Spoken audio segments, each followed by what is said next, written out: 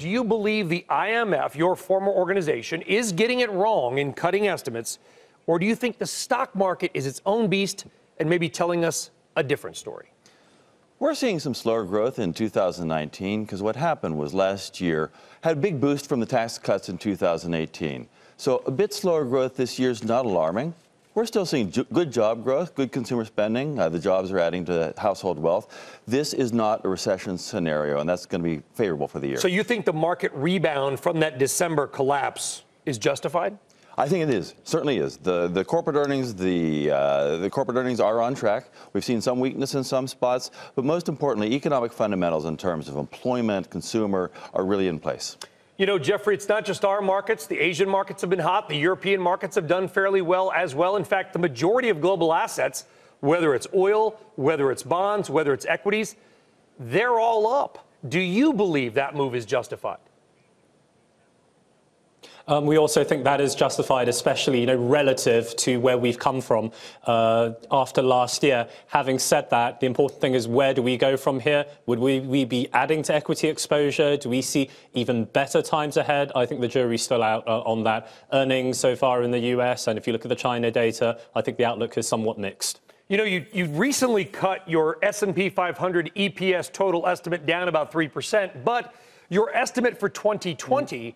is up from even your, your higher bid at the first time. So do you believe we will still see earnings growth in the S&P 500 just maybe not to the pace that we had seen prior?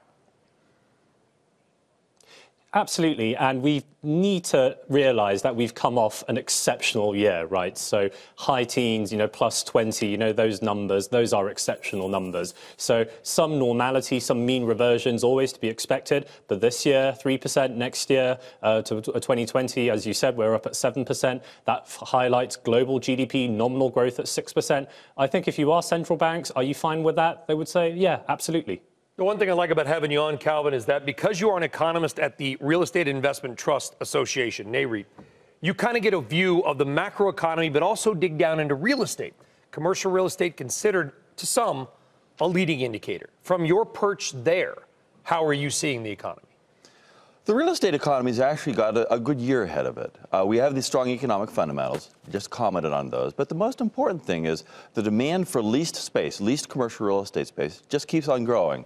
We've seen a lot of construction, a lot of sectors, but there's demand that is matching that construction. So, and I assume people don't take leases out unless they believe they're going to have employees to fill those spaces that, or to have boxes to fill those spaces. That's right. These are people who have a good business need for that space. That's reflecting stronger activity in the rest of the economy. It's a good barometer overall for the health of the economy, and it's got a good year ahead of it still. Geoffrey, what's the biggest risk that you see right now globally? Um, I am still quite worried about the state of margins right now. It's basically what central banks are saying. They are looking at rising wage costs uh, so a tight labour market, that's great, but it seems like people are not spending enough, whereas firms, they don't have enough pricing power, right? So how do they pass on the costs uh, if there's no significant inflation? And that's why central banks, especially the Fed, there's discussions about letting the economy run hot for now. So we really need to see this PPI, CPI divergence and where that leads um, corporate earnings up ahead. Calvin, same question to you. I know you're optimistic, but what do you see as the potential biggest risk right now? Well, in the real estate space, you'd be looking for overconstruction and worries about higher interest rates. Any signs of that uh, overconstruction? No, no, no, not not at all. Uh, there's some sectors where there is a lot of activity, but the demand is calling for it. We see low vacancy rates, and that's good for rents. That's good for property prices. The other risk would be if interest rates would be moving sharply higher. We're seeing the Fed saying they don't need to raise rates. Uh, if you were to look back over the past you know, 30 years or so, rates have gone from very, very low to very low, and now they're stuck at low. This is a good, good financing environment.